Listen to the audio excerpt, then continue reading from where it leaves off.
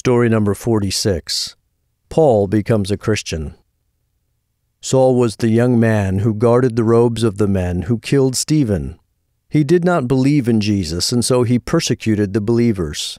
He went from house to house in Jerusalem to arrest both men and women and to put them in prison. The high priest gave Saul permission to go to the city of Damascus to arrest Christians there and to bring them back to Jerusalem. While Saul was on his way to Damascus, a bright light from heaven shone all around him, and he fell to the ground. Saul heard someone say, Saul, Saul, why do you persecute me? Saul asked, Who are you, Master? Jesus replied to him, I am Jesus. You are persecuting me. When Saul got up, he could not see. His friends had to lead him into Damascus. Saul did not eat or drink anything for three days. There was a disciple in Damascus named Ananias. God said to him, Go to the house where Saul is staying. Place your hands on him so that he can see again. But Ananias said, Master, I have heard how this man has persecuted the believers. God answered him, Go, I have chosen him to declare my name to the Jews and to people from other people groups. He will suffer many things for my name. So Ananias went to Saul, placed his hands on him, and said, Jesus, who appeared to you on your way here, sent me to you so that you can regain your sight and be filled with the Holy Spirit.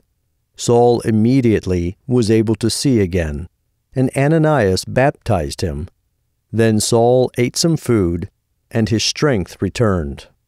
Right away, Saul began preaching to the Jews in Damascus, saying Jesus is the Son of God. The Jews were amazed that the man who had tried to destroy the believers now also believed in Jesus. Saul reasoned with the Jews, proving that Jesus was the Messiah.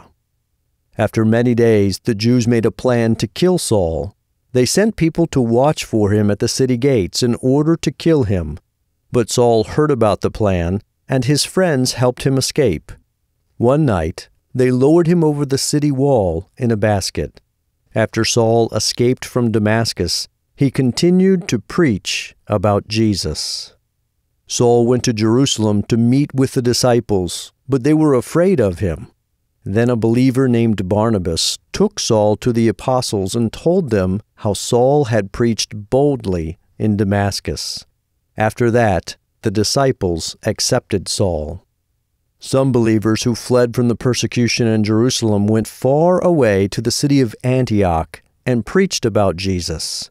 Most of the people in Antioch were not Jews, but for the first time, very many of them also became believers.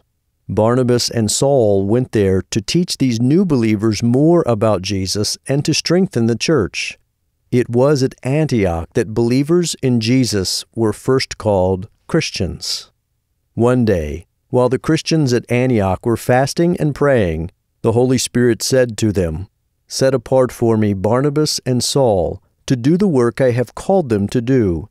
So the church in Antioch prayed for Barnabas and Saul and placed their hands on them. Then they sent them out to preach the good news about Jesus in many other places. Barnabas and Saul taught people from different people groups, and many people believed in Jesus.